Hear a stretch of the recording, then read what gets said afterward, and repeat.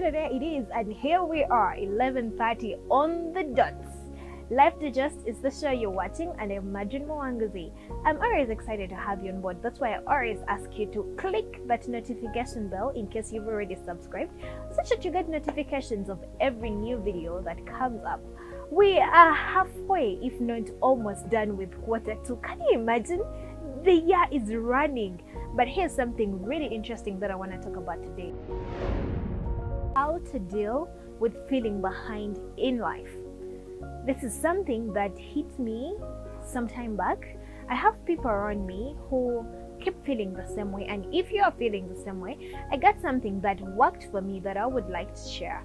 I don't know, but I pray it works for you. And in, in case it doesn't, and you have ever survived or you're having something working out for you, share with us in the comment section and let us help each other grow in this dimension. Some of the things that people struggle with in life are developmental issues or physical issues. Like oh my god i went to school with this guy and he has built i haven't yet. Well it is okay if you see it as you know a, a, way to improve yourself or to make yourself work towards them. But there are times when it dawns on you real hard and it kind of makes you feel like you are a failure in life. I mean everyone around me is getting married. What's wrong with me? Or um, I should have a car by now. You know, those things, or maybe um, why is, am I struggling? Why do I feel like I'm not shifting? That is, it's it's traumatizing. Every time I think about it, it reminds me of those times when I used to ask myself questions like that. But for me, for my case, if I'm to be frank with you, the thing I really struggled with was why aren't I making it in life? Everyone around me seems to be fine with their lives financially, like they have an investment somewhere. Why am I still relying on a salary? Why don't I have a plan B? Why don't I have any other source of income? It was really, really tough. And for some reasons, I allowed it to kill me so bad that I wasn't helping myself grow in the process, but I was helping myself mourn further in the process. Now, if you are facing the same thing, this is it. Number one, everybody's life is different. Like, seriously, some people are born lucky. Now, you need to put that into consideration. Some people come from wealthy families and they're going to help them up the ladders. Some people may not come from wealthy families, but like I said, everybody's life is different. What may happen to somebody else's life may not necessarily happen to you because everyone's life was structured in a different way according to He who is above. God already says we determine, we plan for our lives, what we want to do, but He determines the steps. One thing I appreciated when I was in that process was the fact that sometimes the people I look at may be struggling with something else and sprouting in something else which I am only focusing at. There are other small things they're struggling with, and probably I am actually sprouting in something else but struggling in some area. But I'm planting one thing at a time and shielding. It's more like blocking every other thing that I've achieved that I am feeling down or failed completely. But the moment I learned that, yes, I may not be there yet, but I can still be there. First and foremost, I stopped mourning. I stopped like putting it up to myself all the time, like feeling like I haven't done enough, you know, that kind of feeling. It starts within. That's the honest truth. And it started within for me. And if you are in such a situation and you want to change, you want to see different things differently, let it start from within you. Like tell yourself that yes, uh, let's say Moses, let's say Winnie, let's say whoever it could be. Tell yourself this is what I'm facing. This is the reality. Have I done anything differently to make it better? Yes. Has it failed? Yes, for now. But trust the process and trust the timing. God knows better. Along the way, there are lessons we learn that are going to help us in future. I learned patience when I was in that place. I was so impatient. Oh my God. I, I think I, I, I was going to say I am the most impatient person, but then I realized I have grown a little bit of patience. But I was the most impatient person I know. I wanted things to be done there and then and stuff like that. I learned patience, and this patience along the way helped me in some area that eventually helped me yield better in the areas I was actually mourning about. So it's about you trusting the process, learning from the process, and trusting the timing and being comfortable wherever you are. It works like magic. It works for me. It will work for you. Stop comparing yourselves. Yes. You know, life, I don't know where this concept of comparing came from, but I mean, now that it's here, we can't do anything about it. Social media has even boosted it much more. Every now and then, we compare ourselves to different people for different reasons. It's okay to see somebody else and know that, oh, they have made it in this way, but it's not okay for you to think just like they have made it, you're supposed to make it at the same rate, at the same time, or in the same field that they have made it. Now, that is wrong.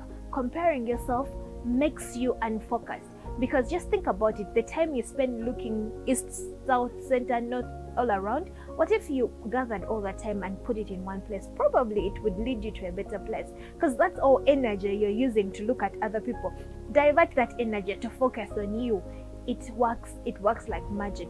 Comparison is good if it's for learning. Like it's it's it's okay if you're looking I don't think it's actually good. It's more like just look at someone, see them, and appreciate. Don't compare yourself. You're two totally different people. I can never be you, you can never be me. So if you want to overcome the feeling of you are behind in life, first and foremost, put off even social media if it needs to be. People are faking life, like for real. People will post things that they want you to see or lives that they want you to believe. But when you meet them one on one, you'll be surprised. I remember there was a time I met this girl. She was online. She was ever those days when I was still doing TV. She was ever like leads and dressed up and all those things. So I thought she had some money. We go somewhere. She couldn't even pay for her bills. You get. And in my mind, I was thinking, what? I mean, what's going on? But then when I grew up, I realized that social media portrays something different. And if we continue comparing ourselves in those directions, it's going to be draining. So stop comparing yourself on social media, off social media, cut your ears from everything that brings comparison into you, that makes you feel inadequate, that makes you feel down, and then open your eyes and ears to things that keep you on track and help you get better. And the final one, and yet the most important one pray, trust, obey.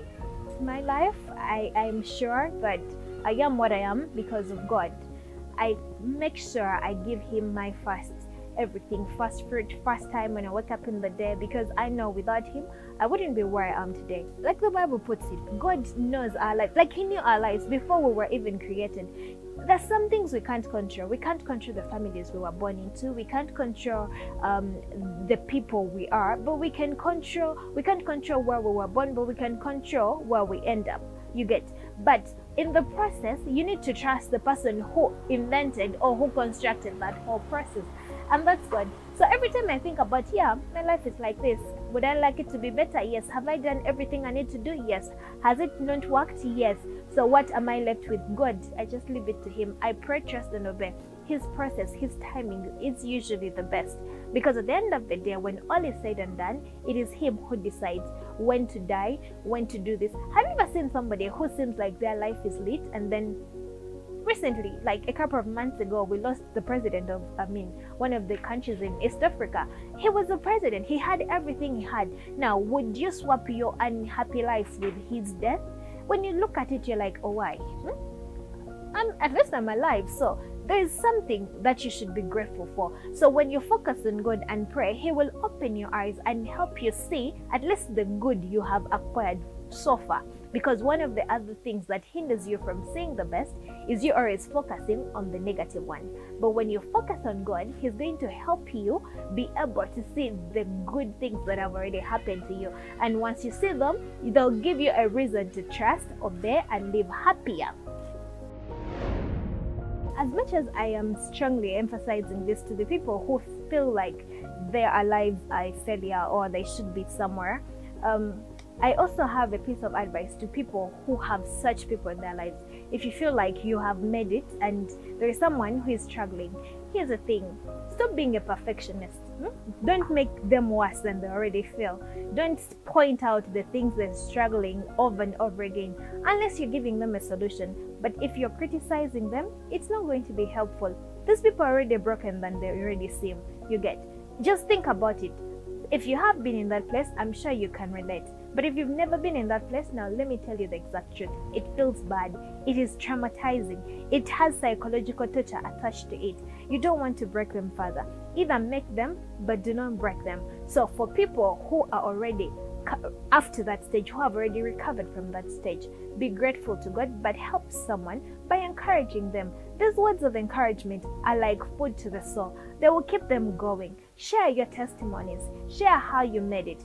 And then for those who are still struggling, whose measuring stick are you using? Please, it is God who says, stop comparing stop being like i can't say stop being frustrated because that's not something you just decide and be like i'm not going to be frustrated but trust the process.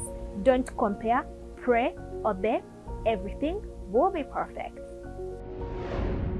And here at Life Digest, we focus on progress, not perfection.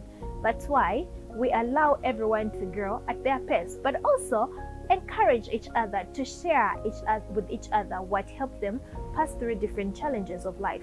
So in case you have any comments about this video or if anything I've said has blessed you, let me know in the comment section. And if you want to add value to me or knowledge to someone out there, let's share our experiences together. You never know who you might serve tonight.